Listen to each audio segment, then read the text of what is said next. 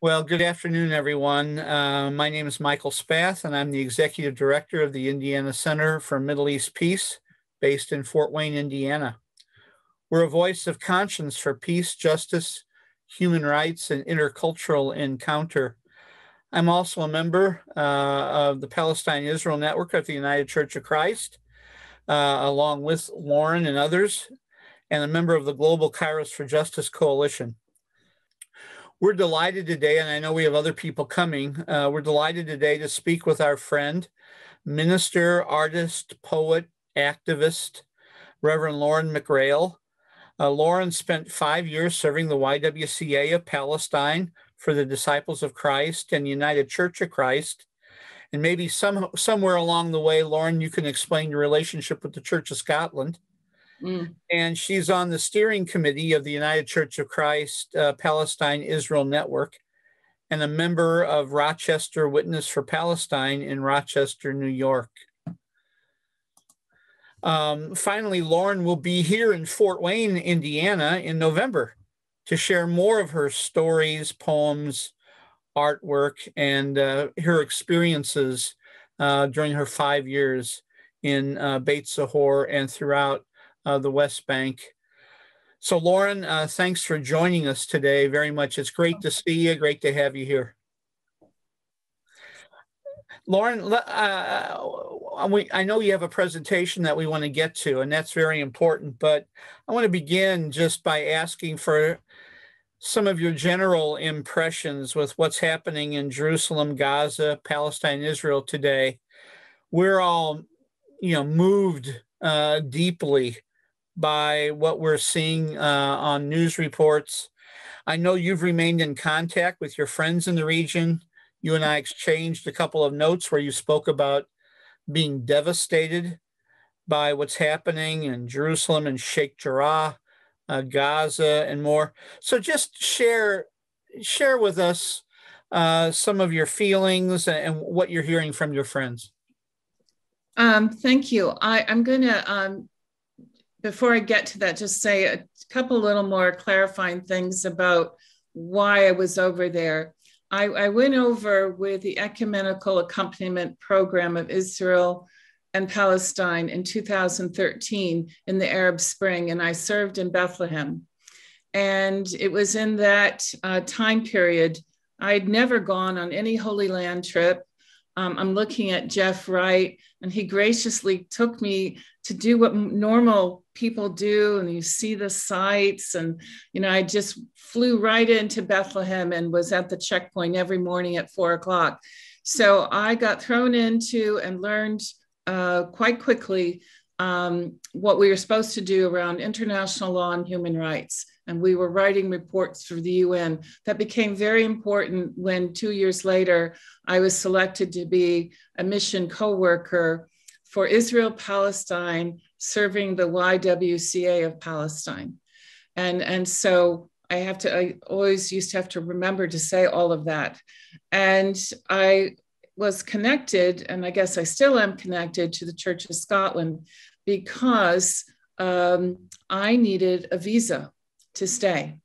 And the old days, you could go in and out every few weeks. Um, or well, every three months. But that clearly wasn't happening. And many of our uh, short term volunteers were being turned away.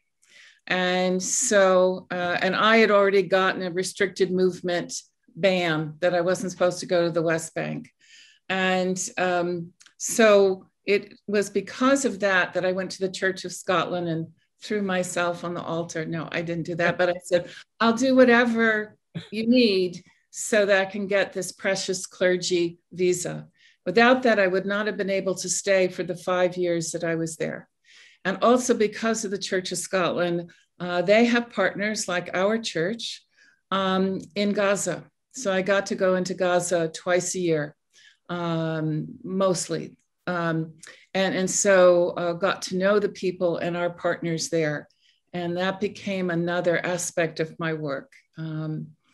And and and through the Church of Scotland, I was representing them sometimes, um, often in um, situations where I was representing the Church of Scotland, reading scripture, and lots of bizarre and interesting stories about being a woman minister over there. Um, so, how am I feeling? Uh, when I said devastation, I, I, forgot that I've been feeling this way for a while. Um, and it was very specifically, Michael, I had just seen the picture of Mahmoud El Kurd being arrested, beaten up and arrested uh, in Sheikh Jarrah. And I, um, I know the El Kurd family, and uh, I know Muhammad uh, very well, and I got to know his whole family. So, like any parent, um, try not to cry. I told myself not to cry. Um, there's my boy, who's now a grown man, and he's probably been defending his family as anyone would and now he's being hauled off. And we who work on issues related to Palestinian children know that they can be held in administrative detention for up to a year with no charge. And no one is allowed to see them, and all kinds of torture goes on. So that was my first devastation um, with the recognition of that. Uh, I had been speaking to Muhammad before he was trying to get back to be with his family. He was being blocked. He had to go through Jordan. Now I just worry about him. And I'm also really proud of him. He is on MSNBC giving news reports, Democracy Now! And um, part of my pride is um, that when he was in 10th grade, 11th grade, um, we talked and I said, You need to go to college somewhere. Um, and if you want to go to the United States, I will help you.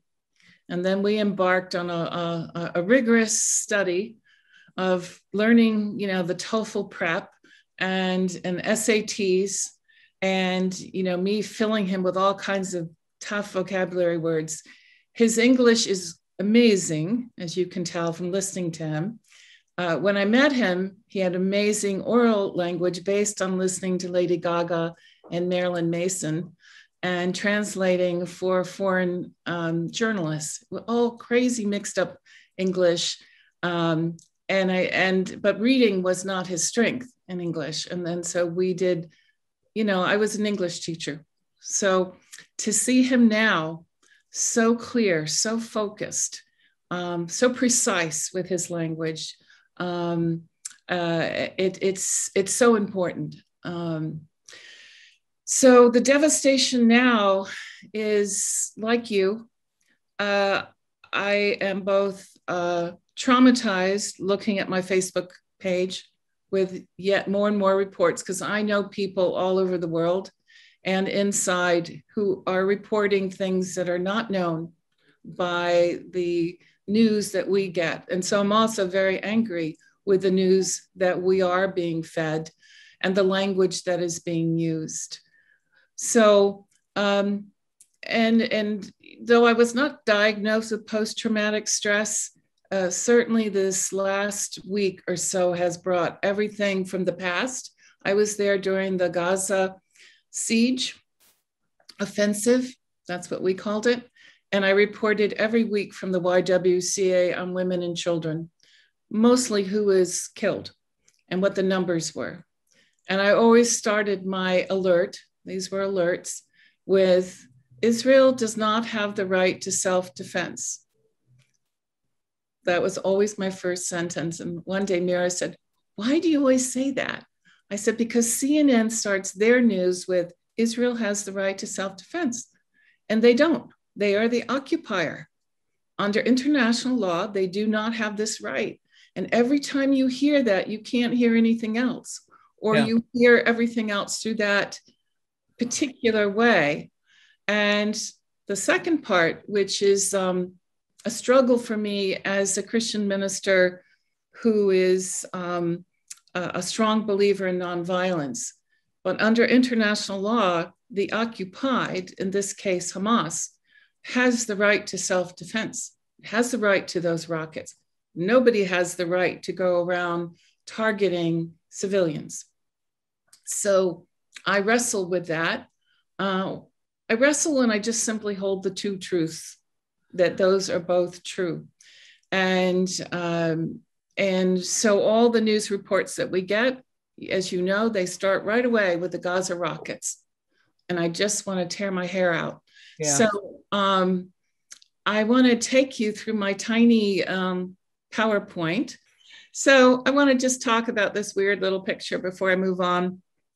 Uh, it became actually a picture for the Presbyterian Church um, as uh, evidence that Caterpillar was still involved in destroying, um, in this case, olive groves. This is in Beit Sahor.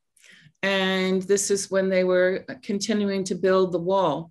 And for I was. Folks, Loren, for some of our folks, Beit Sahor is right uh, outside Bethlehem. It's a it's an adjoining community, one of the three parts of the Christian triangle there uh, uh, in Bethlehem, Beit Sahor, and Beit Jala.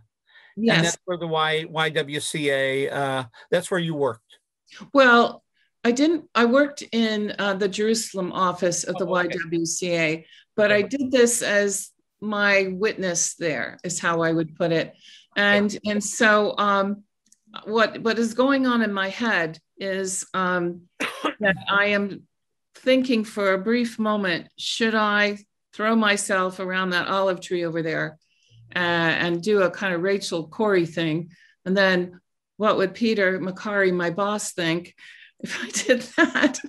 would I be killed? Would I just be deported? And, and so, you know, I'm just struggling.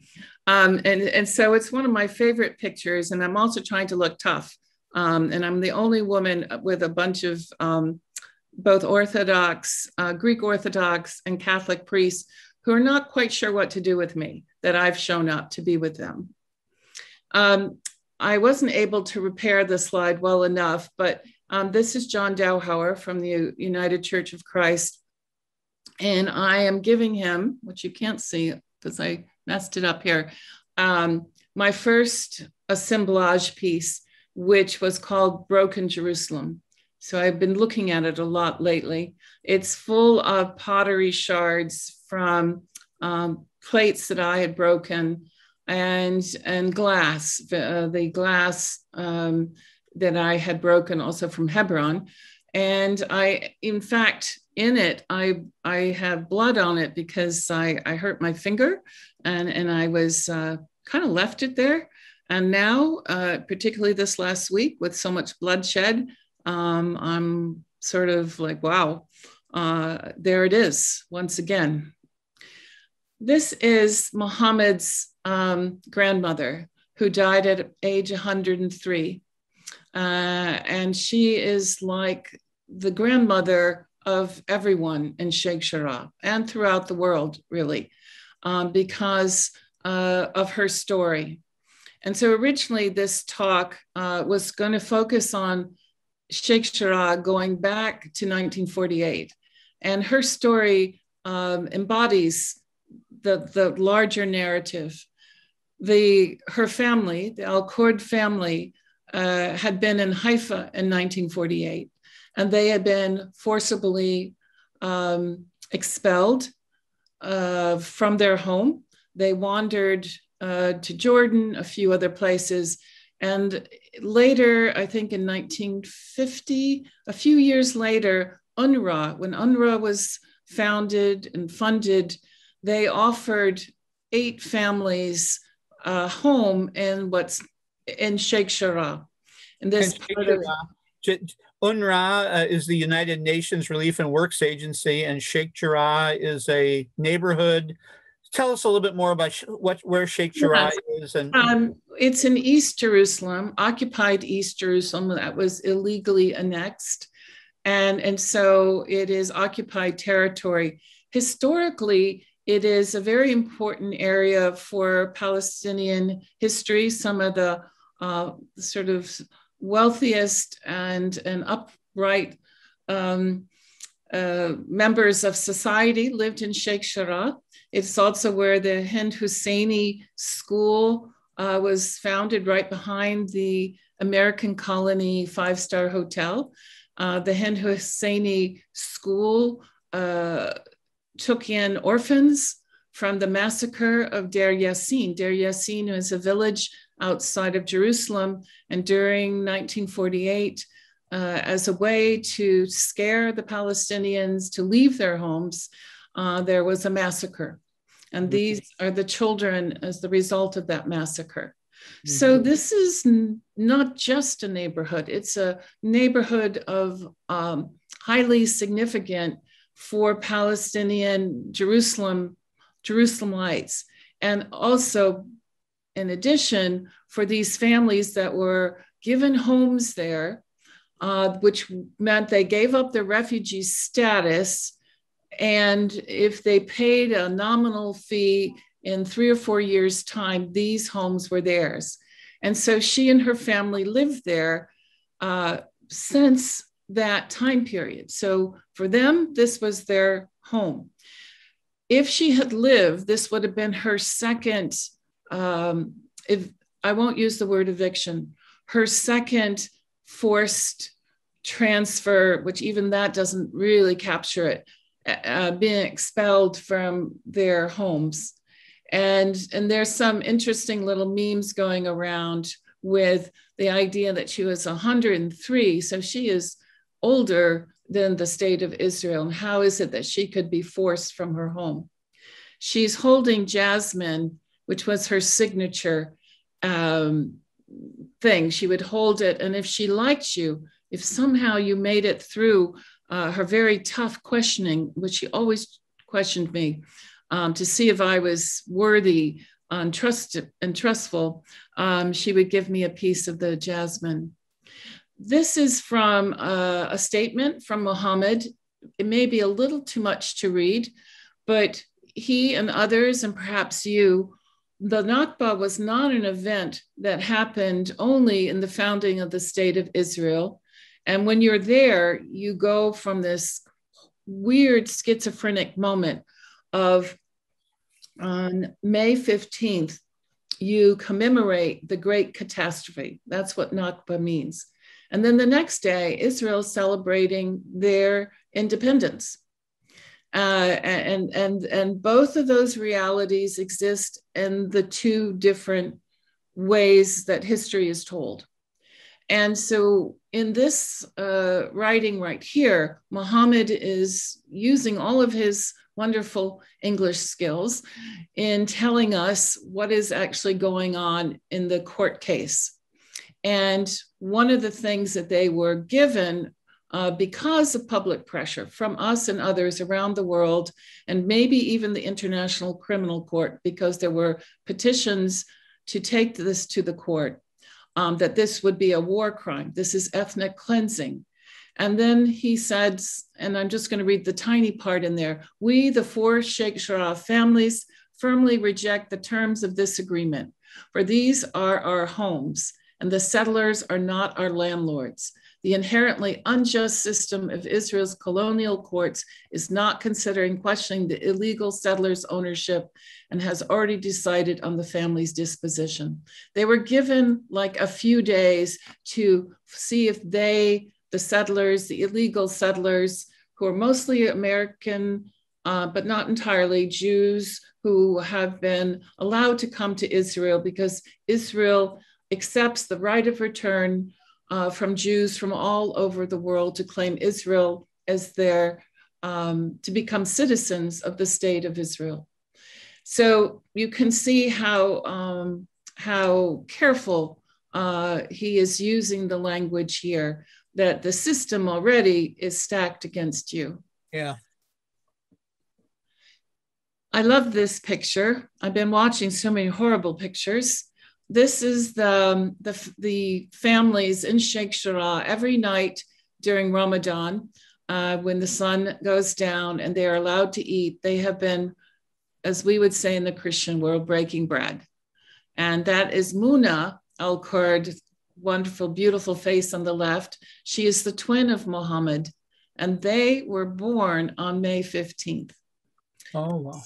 And so uh, when I met him, at some point since I had sort of adopted him as my my son, I said, "Well, when is your birthday so we can celebrate?" And he goes, "I've never celebrated my birthday. don't you know we do not celebrate al Nakba? and um, and so uh, we made a deal that the following year we would celebrate it on a different day. And I, who never raised uh, a, a, a, son, a boy, uh, threw a birthday party for 16 year old Muslim boys in my little um, garden. And he had never had a birthday. He was overwhelmed. I want to talk to you a little bit about one of the women that I came uh, to know and, and to learn her story.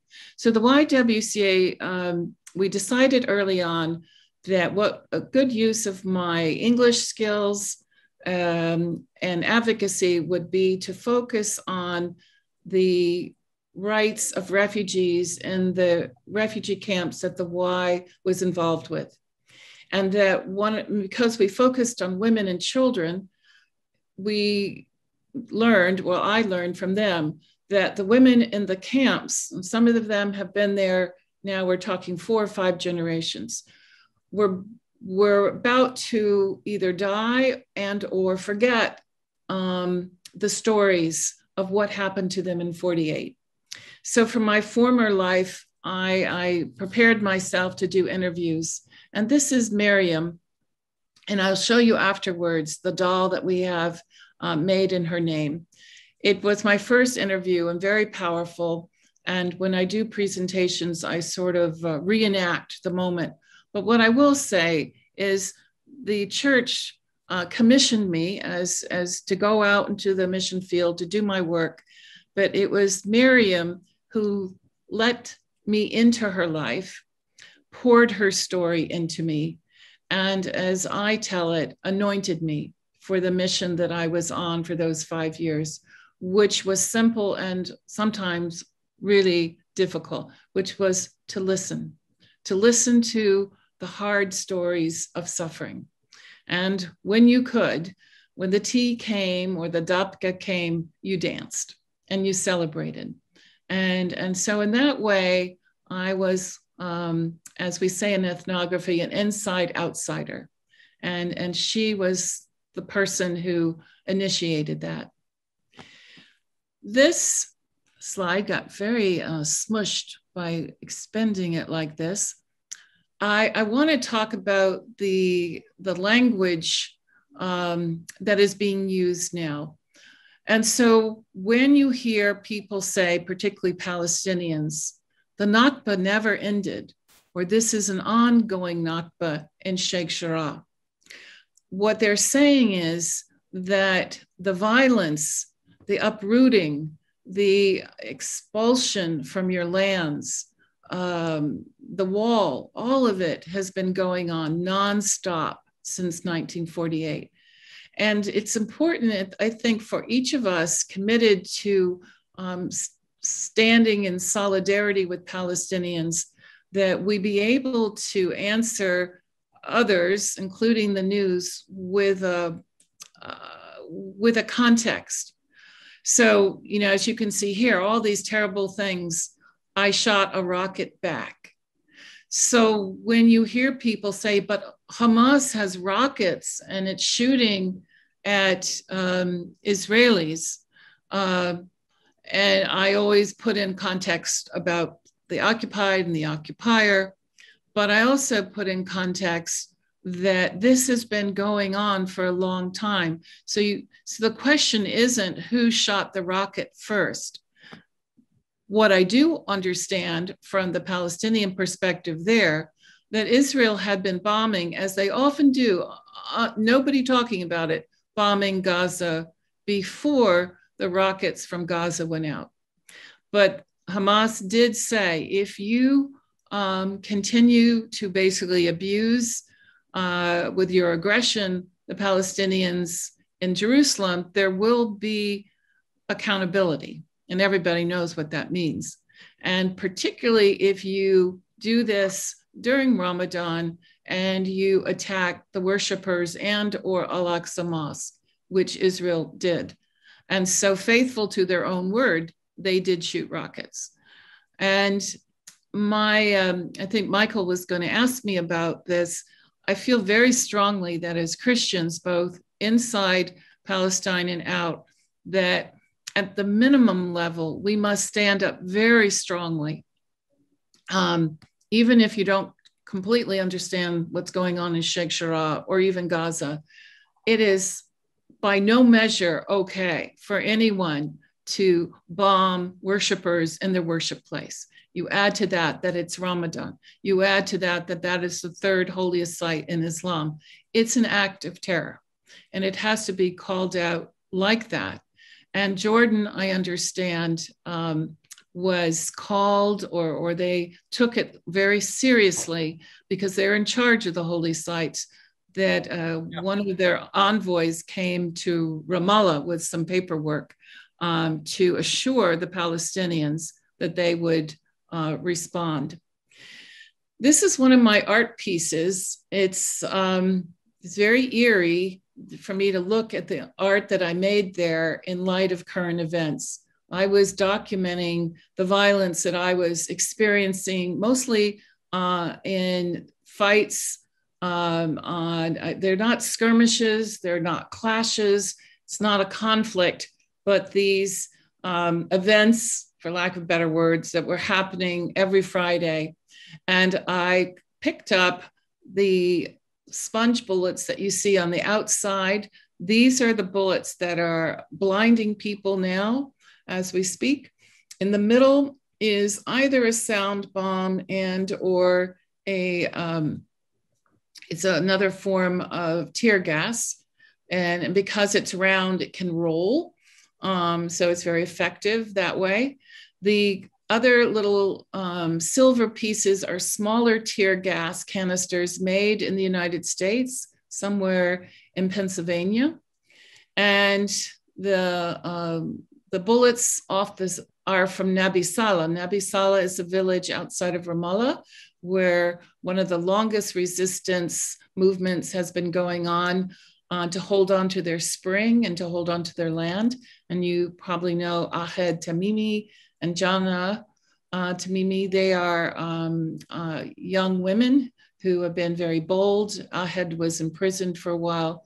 Jana, knowing that I was making art as she does out of these bullets and things, gave me um, these that these are live bullets that had been um, shot at the children in Nabi Saleh the uh, uh, Tamimi family and the Burnat family both have little canisters where they've planted little flowers yes. and hung them on their fences.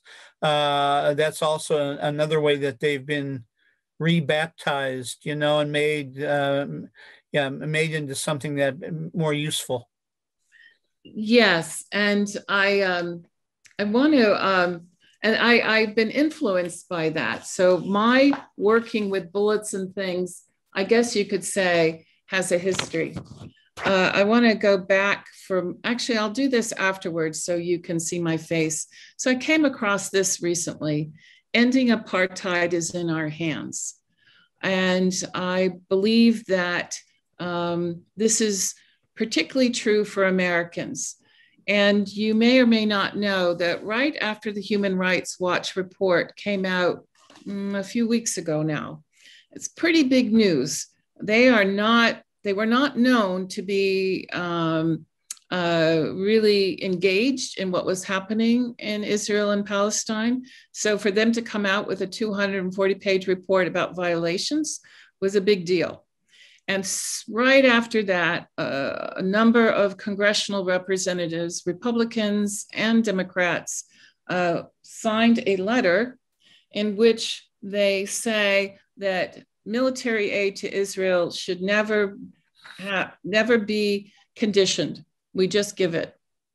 So later today, when I meet with um, others here in the Rochester area and the Rochester Witness for Palestine, um, I will be calling out our representative, um, Joe Morelle, who's one of the signatories on that letter.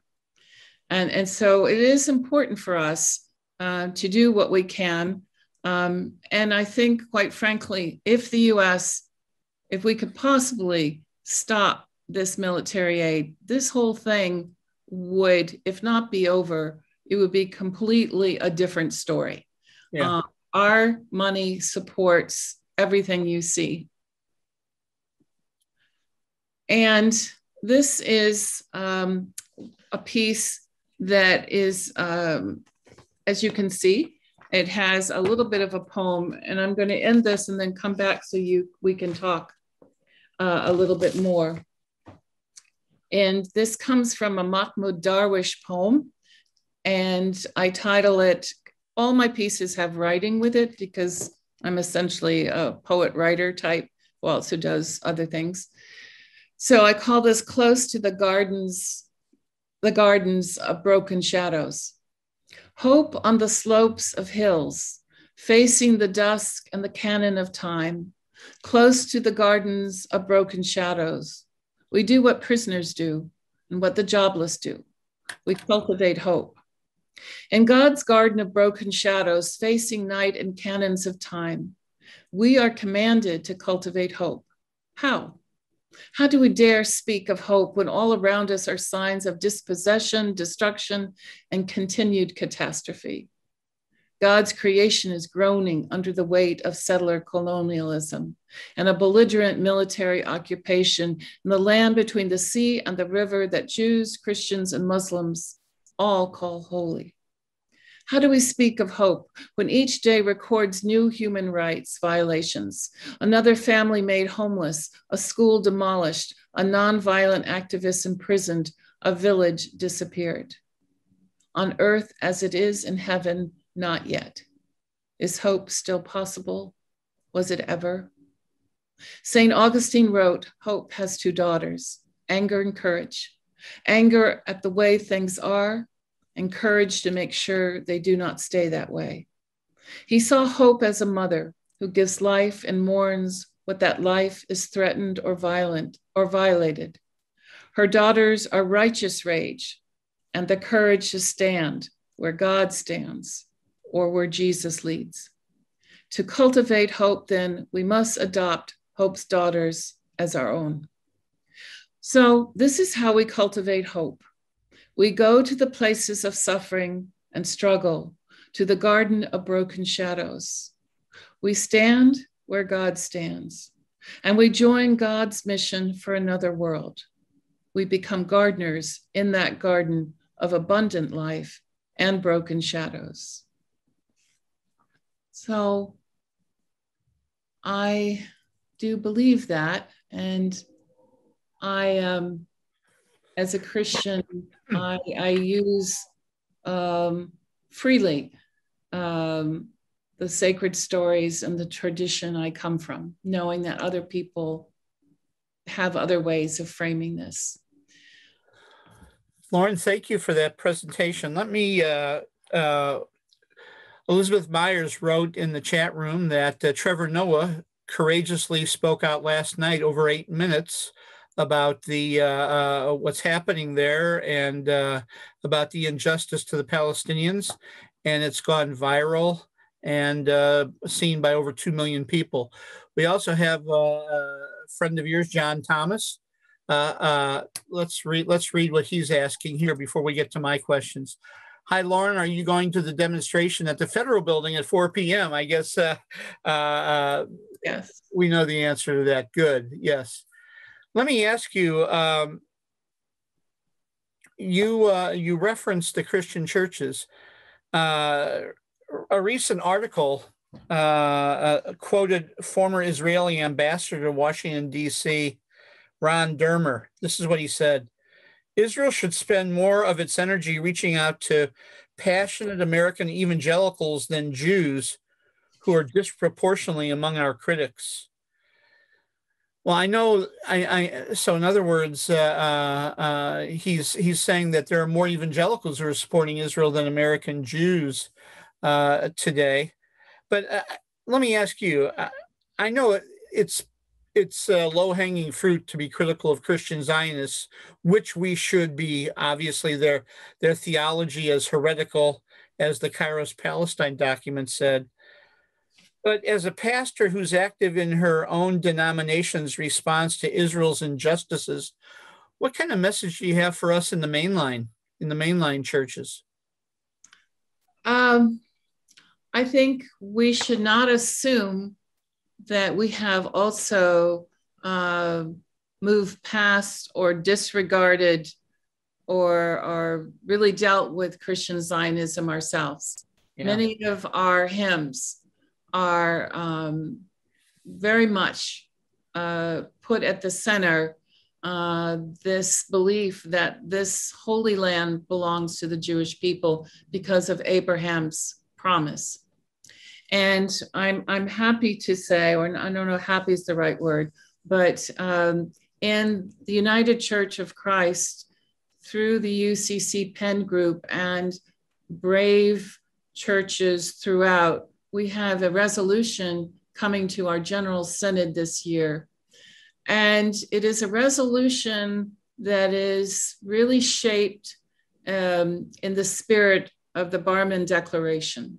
It is more than just uh, all the things we've tried to do before, like um, talk about uh, the right to boycott uh, or to divest our funds from those corporations and companies that are profiting from the illegal occupation. We put it all together and said, in response to Kairos Palestine, who asked Christians throughout the world that this is the moment you need to speak up and you really need to do something. So we took that very seriously. And one of the, I'm looking um, at one of the things that we say, um, and I, I, think we have an affirmation, uh, and it speaks very much to what you're saying, Michael. We affirm that the biblical narrative, beginning with creation and extending through the calling of Israelites, the corrective admonitions of the prophets, the incarnation and ministry of Jesus, and the witness of the apostles to the ends of the earth, speaks of God's blessing extending to all the families of the earth.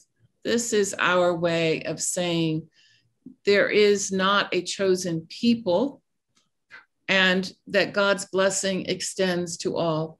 And then in the therefore section, we reject any theology or ideology, including Christian Zionism, supersession, anti Semitism, or anti Islam bias that would privilege or exclude any one nation, race, culture, or religion within God's universal economy of grace. So I'm very proud to see this. Um, it's not the first time the church has said this, but we have to say it, I think. Um, I myself used to get asked these questions, and I still get asked these questions here. Um, you know, don't I believe in Abraham's promise? And then, depending on how energetic I am or snarky I am, I go, oh, You mean the ones, the descendants, plural? And they go, Hmm. And then I go, So Sarah and Hagar's children, the descendants of Abraham. And they go, Whoa, no, no, no, no, not Hagar. She's she's not in this. Um, and then, you know, again, depending on how much time and energy you want to give to this. And and I, I quote Muhammad, um, actually, my friend Muhammad Al Kurd and uh, when we talked about this, and he was still talking about Sheikh Jarrah, you know, years later after the settlers have been occupying his house, he said, Is your God a real estate agent? I went, No, he's not. he said, Then why do people think that God has given this land, you know, uh, for them and only them? And I must say, as a Christian coming in, when I was questioned, uh, always when I came in, except when I had my clergy visa, um, there was always this question why are you coming here? And, and I had to control myself because my sacred story happened here and I have a right to come. I mean, it's not just for some people, but the whole issue of chosenness um, is deeply American too we in the United States have a whole history, a secular history, in which we, that mixes with our understanding of Christianity, that we were to be the light on the hill.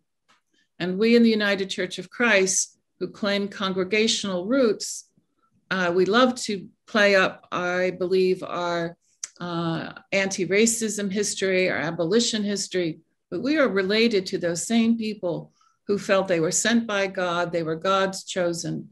That is deeply embedded in the American identity. It's not just a Christian aspect.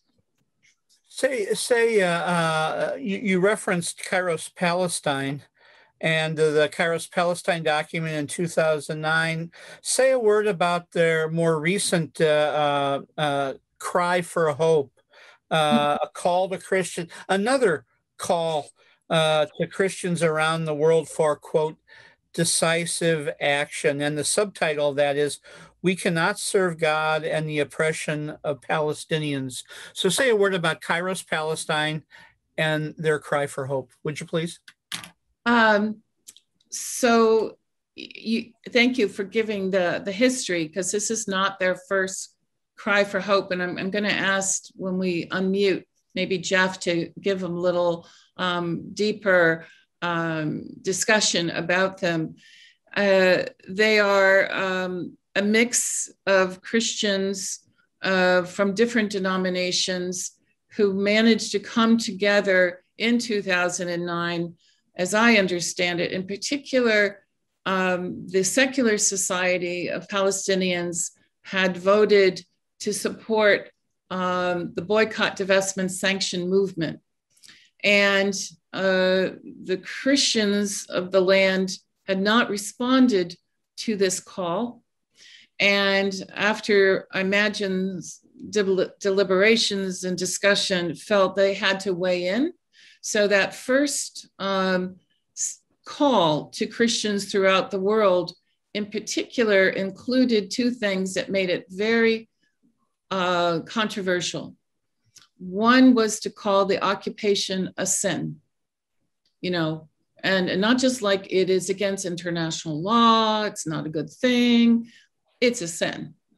And, and uh, Desmond Tutu has also um, used that language, and it did call for the support of boycott, divestment, sanction. And it's out of that that many of the churches, including our church, the Presbyterian Church, now the Methodist Church and even the Lutheran Church has a screen um, that we are responding to look where our church monies go to make sure they're not invested in companies and or products that support. But this latest cry for hope, and, and even if you just take that in, it is a cry. Yeah. It's not an ask.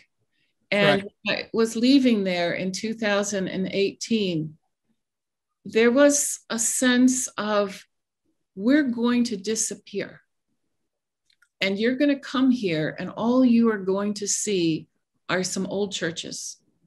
The Palestinian Christian population is like less than 1% in Jerusalem. I'm not sure I have the figures correct in Bethlehem now, but I wouldn't be surprised if it was less than 4%.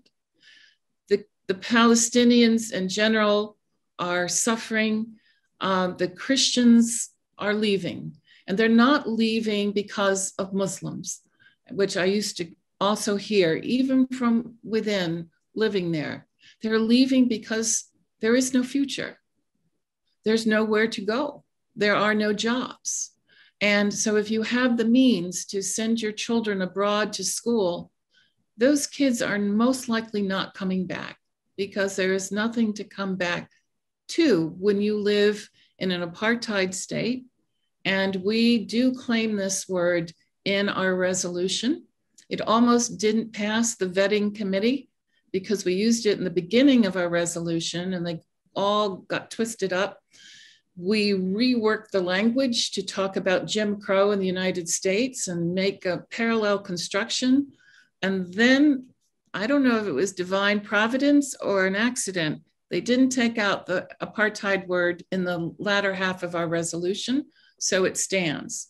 Because after we do these words in which we affirm, therefore, we do declare this along with B'Tselem, one of our partners, which is an Israeli human rights organization, and now with Human Rights Watch and others, that there is no debate. This is an apartheid state. And this isn't just a choice adjective, it has legal consequences. And even if Israel and the United States do not consider the International Criminal Court an authority that they must obey. All the other states in the world mostly do. And if it is an apartheid state, you have to do what happened in South Africa. You have to withdraw your trade agreements. Uh, you have to stop um, playing sports. You, you stop all relationships because you are not allowed to comply with an apartheid state. That's why that word is so loaded. Um, it's also why Richard Falk's study was taken literally off the United Nations website because Israel and the United States were so afraid of what would happen if the world actually did understand that this was an apartheid system. Let me uh, get to another question that's uh, for in our chat room, Loren. Uh, it's from uh, one of our friends here in Fort Wayne who traveled with uh, with me uh, pre-COVID. Let me just read it to you. One reason that Israel gets away with what it does is the painful reality that over the last hundred plus years, the Palestinian brand has generously, generally been perceived as negative, especially in the U.S. Unfortunately, due to the backing of wrong parties in various wars and noted acts of terrorism, knowing that the Palestinian people of today should not be held responsible for those acts and alliances of the past, how can the Palestinian brand be reimagined and better perceived? Wow, that's a that's a very big thing. I, I I'm, I'm wrapping my head around brand because I don't see it as a brand. Right. Um, eh, and so my first response is the Palestinian story that includes the Nakba which means, you know, just to break it down. And I remember sometimes just really flabbergasted that the world leaders could conceive that the way to deal with anti Semitism after World War II was to partition an existing country and give it away to 10% of the population, because that's what happened.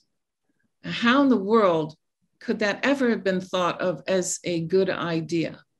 So the Palestinian people responded, and you have the Arab Israeli war, as 750,000 people were turned into refugees within a two year period of time. Over 500 villages were destroyed.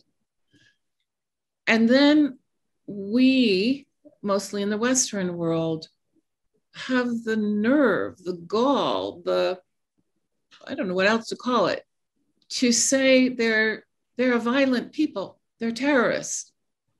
And I will never forget in one of my many, um, you know, I spent a lot of time on the road talking after my um, time in the mission field.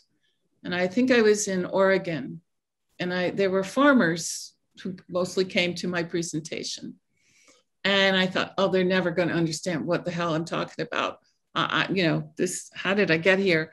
And then I just looked and I said, well, imagine if someone came to your farm and said, it's no longer yours. And we're going to give it to these people over here. What would you do? And they said, that's not going to happen. We're going to fight for it. So I think this idea that the Palestinian people are known as terrorists, it skips over the deep um, aggressions, uh, violations, the, the robbing of their humanity. And, and that's where we come in.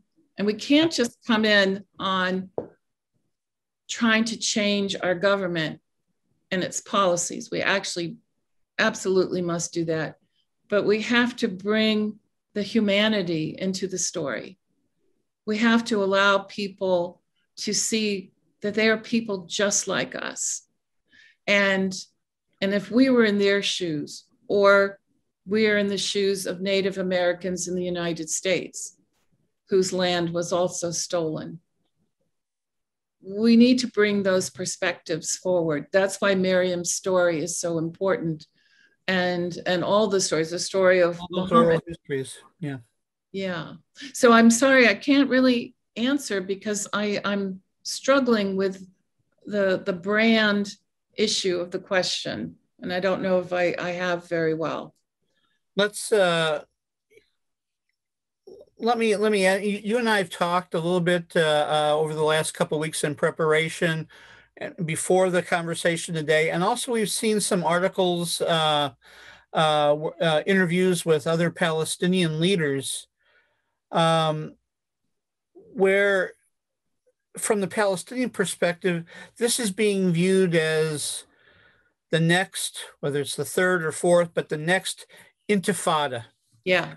And uh, uh, talk about from just from your experiences as an outside insider but also your friendship with the Al Kurd family and others. Talk to us a little bit about this sense of uprising, the younger generation, uh, the, the where, where how the seeds have been planted for it, etc. So I, I was checking in with different people in the last few days.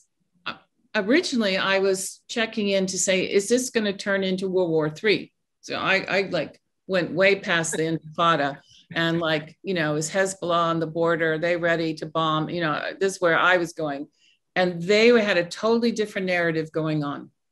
And not the narrative that i'm trying to undo the thing about you know gaza being allowed to bomb or not. Their narrative is this is the uprising this is the intifada. Intifada means shaking off oppression.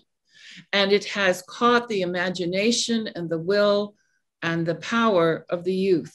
And it's not just in Jerusalem, it's not just in the West Bank, it is inside Israel now also.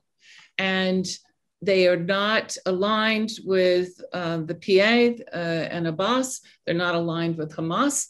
They are not aligned. And this is what I saw when I first went in 2013, the Arab Spring. The youth were struggling to get a foothold, and all of those parties basically suffocated them but this this is different and um, i think part of it is for whatever reason what has happened in sheikh jarrah has been a tipping point unfortunately the bombing of gaza has become normalized um, in fact they have horrible expressions um, it's time to mow the grass that's how they refer to the gazans yeah. but also you have attacked Al Aqsa. You have attacked our holy site. Now, I know, and I was always told if they attack Al Aqsa or they're digging underground and, and something terrible happens to Al Aqsa, holy war will break out because every Muslim who is a practicing Muslim must defend Al Aqsa.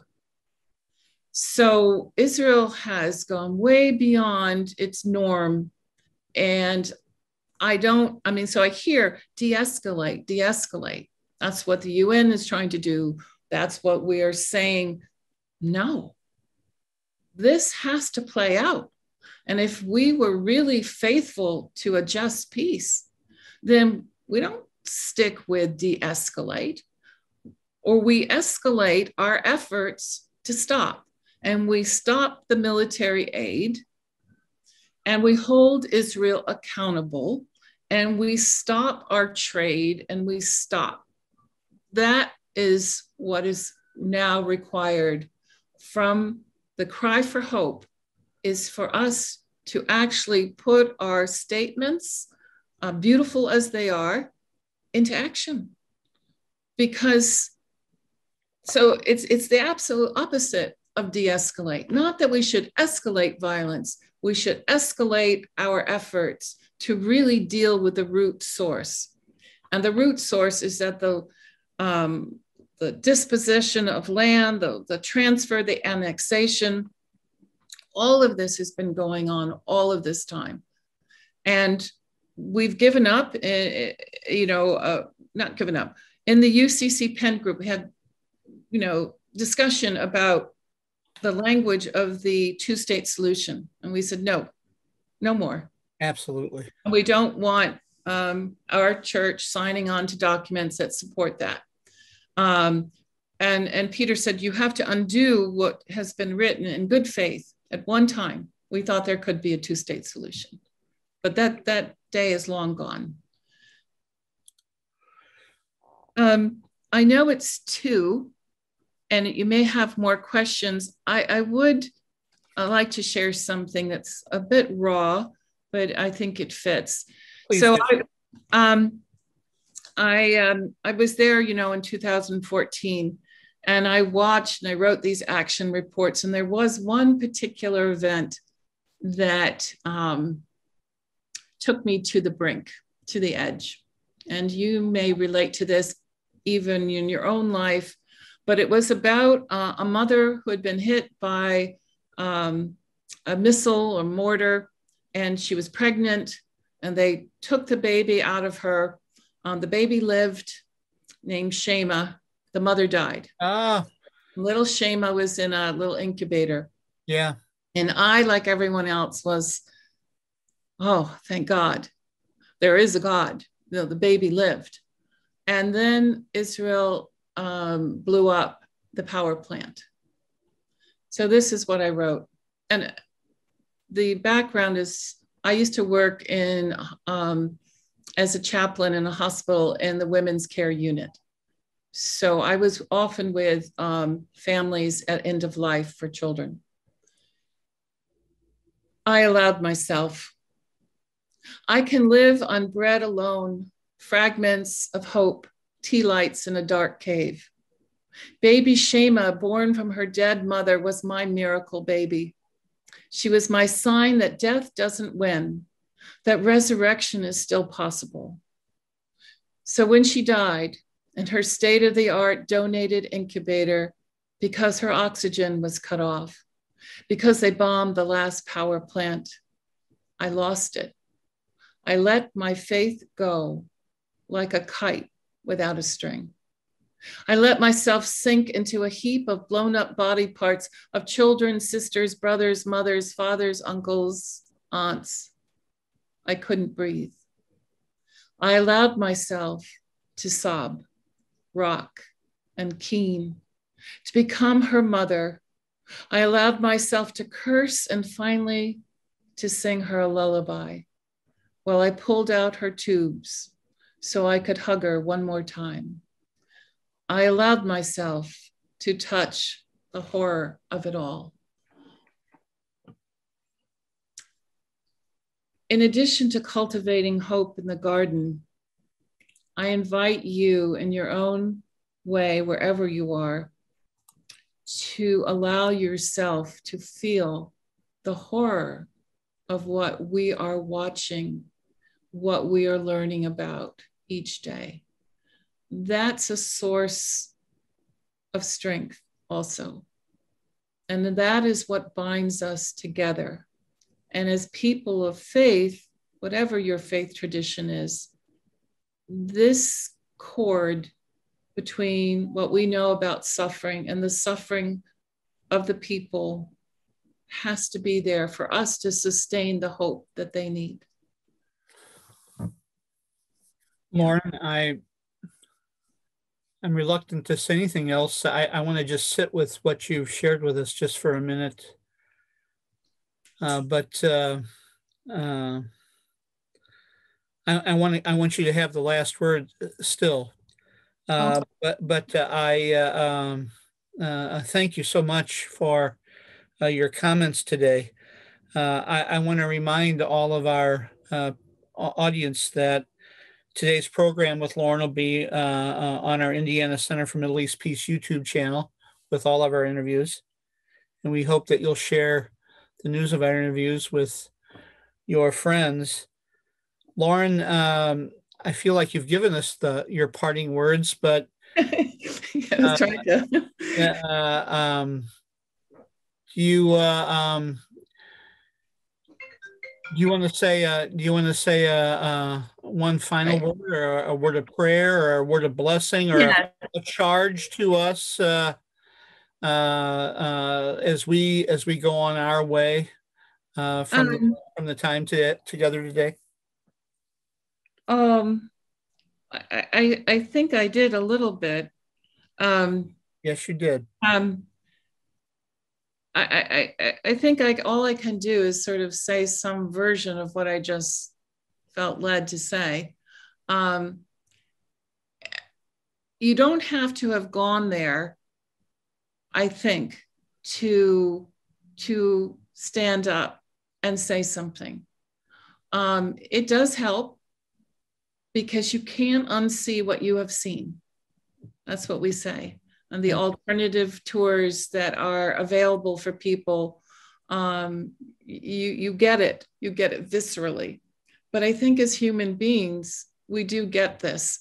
And that's where that branding, unbranding question for me comes from is that we also, in the same vein, we understand um, what happened to the Jewish people and the Holocaust and people calling for their extermination.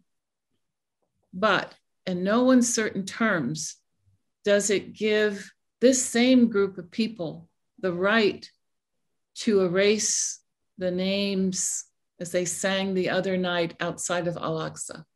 Yeah. We who can step back a little bit must not allow this for anyone.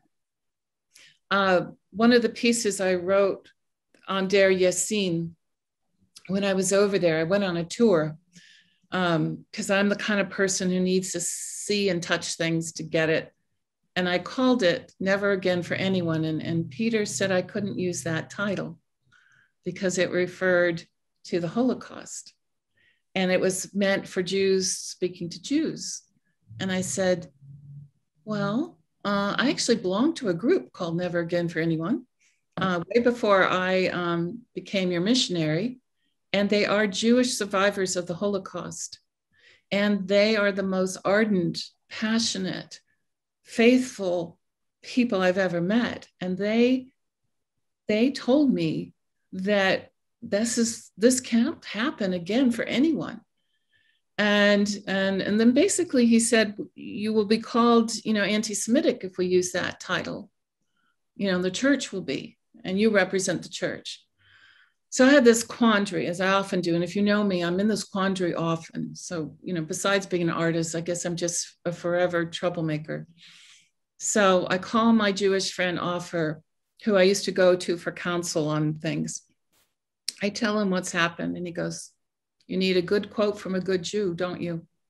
I said, I do Ofer. Can you say something? And then within minutes on my little cell phone, I get a little paragraph in which he says basically the same thing. And I quote him, and the article gets published.